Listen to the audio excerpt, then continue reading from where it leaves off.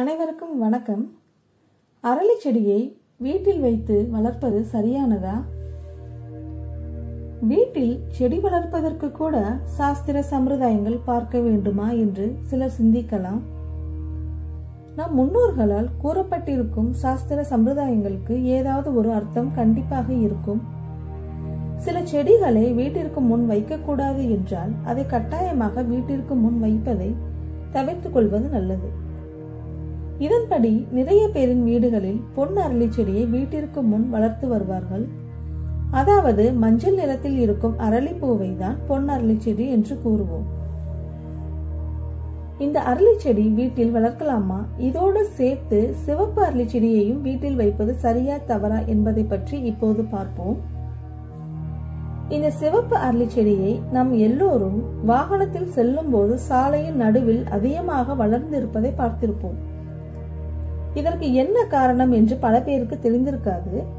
பொதுவாகவே இந்த செவர்லி செடிக்கு காற்றை சுத்தப்படுத்தும் தன்மை இயற்கையாகவே உள்ளது.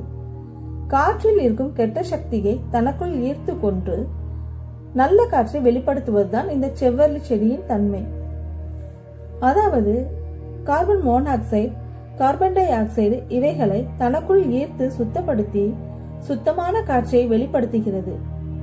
இந்த அறிவியல் உண்மை காரணமாகத்தான் இந்த செடியை காற்று மாசுபடும் இடத்தில் வாகனங்கள் அதிகமாக செல்லும் சாலைகளில் அதை வைத்துள்ளார்கள். இதனால் இந்த செவ்வர்லி செடியை நம் வீட்டில் வைப்பதில் எந்த ஒரு தவறும் இல்லை. நம் வீட்டிற்குள் வரும் காற்று சுத்தமாக வருவதற்கு இது ஒரு காரணமாகத்தான் இருக்கும். ஆனால் இந்த செவ்வர்லி செடியில் இருக்கும் காயானது விஷத்தன்மை கொண்டது. விஷத்தன்மை கொண்ட காயை குழந்தைகளோ அல்லது தெரியாதவர்கள் யாரேனும் எடுத்து சாப்பிடக்கூடாது என்பதற்காக இந்த செடியை வீட்டில் வைத்து வளர்க்கக்கூடாது என்று சொல்வார்கள். கூடுமானவரை இந்த சிவப்பு அரளிப்பூவை உக்கிரமான தெய்வங்களுக்கு சூட்டுவதால் வீட்டில் வைக்கக்கூடாது என்றும் சொல்வார்கள். இந்த இரண்டு காரணங்கள் தான் செவ்வரளி பூ முருகனுக்கும் மிக உகந்ததுதான். சிவபெருமானும் தன் தலையில் செவ்வர்லி பூவை சூடியிருப்பதாக சாஸ்திரத்தில் கூறப்பட்டுள்ளது. இதனால் வீட்டில் செவ்வர்லி பூ செடியை முன்பக்கத்திலும் வைத்துக் கொள்ளலாம் பின்பக்கத்திலும் வைத்துக் கொள்ளலாம் எந்த ஒரு பயமும் தேவையில்லை.